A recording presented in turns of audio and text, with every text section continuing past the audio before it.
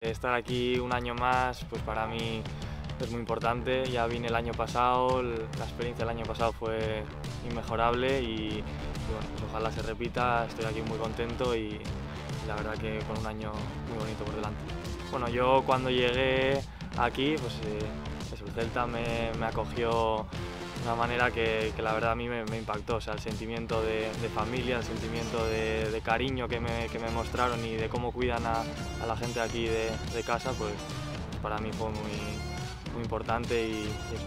al final me, identifico mucho con, con esos valores. La, pasada fue,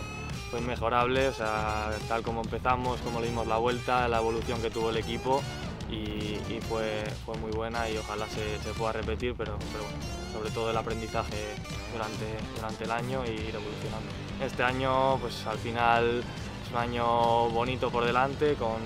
bueno, la gente que sube de abajo, la gente de caras nuevas, pero, pero bueno, al final también trabajar, aprender e intentar ayudar a, a, los compañeros todo lo posible. Al final, lo que te he dicho antes, eh, no hay que ponerse metas ni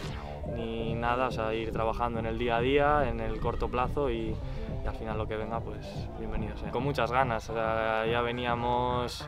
eh, todo el verano pues ya de desconectar, acabamos la temporada pasada pues, tarde y tal, pero,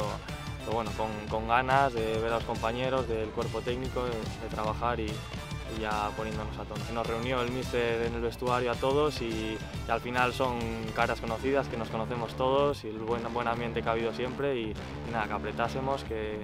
que aprovechásemos estos meses, este mes para, para ponernos bien y, y para trabajar.